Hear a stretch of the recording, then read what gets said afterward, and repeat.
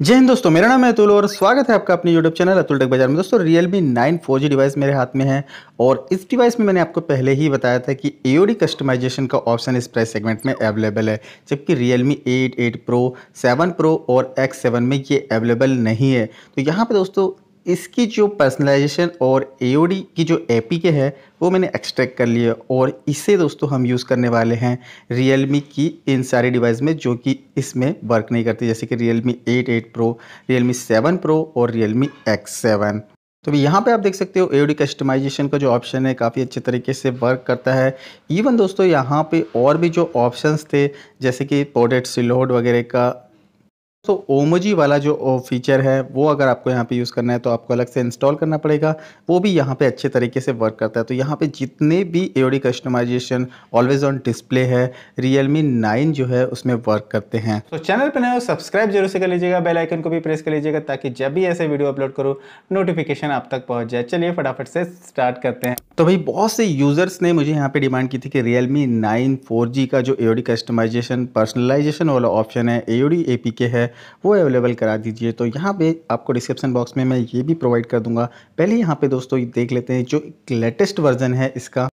वो हम दोस्तों ट्राई करेंगे Realme 8 डिवाइस और Realme X7 तो यहाँ पर Realme 8 जो लेफ़्ट वाली डिवाइस है और Realme X7 राइट वाली डिवाइस है। एंड यहाँ पे दोनों ही जो डिवाइस है मेरे पास, सभी में यहाँ पे Realme UI 3.0 का अपडेट अवेलेबल है। यहाँ पे आप देख सकते हो Realme 9 4G में AOD कस्टमाइजेशन अवेलेबल है, जबकि Realme 8 और Realme X7 में AOD कस्टमाइजेशन अवेलेबल नहीं है। यहाँ पे black and white AOD always on display आपको देखने को मिलता है। तो भाई यहाँ पे Realme 9 की दोनों ही ए के मेरे पास है। सबसे पहले पर्सनलाइजेशन वाली ए को, को मैं इंस्टॉल करता हूँ। अपने Realme X7 डिवाइस यूज़ कर रहा हूँ। ये इंस्टॉल हो गई है। डन पे भी टाइप कर दिया है। ए वाला भी जो ऑप्शन है ये भी इंस्टॉल यहाँ पे हो जाता है। इंस्टॉल होने के बाद दोस्तों यहाँ पर हम चेक करते हैं पर्सनलाइजेशन सेक्शन में कि AOD कस्टमाइजेशन आया कि नहीं। यहाँ पर आप देख सकते हो AOD कस्टमाइजेशन अवेलेबल नहीं हुआ है। ये मैंने रियलमी एट में और एक्स में भी ट्राई किया है।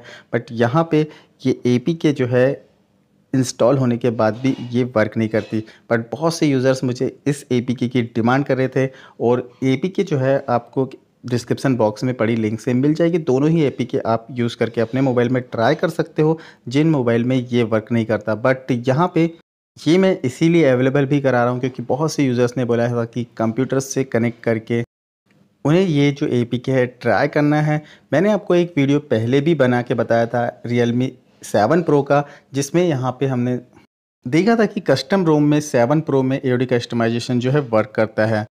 तो दोस्तों, आप भी अपनी डिवाइस में ये ट्राई करके देखिएगा, जो एओडी कस्टमाइजेशन है रियलमी नाइन का, वो मैंने यहाँ पे नीचे प्रोवाइड किया है।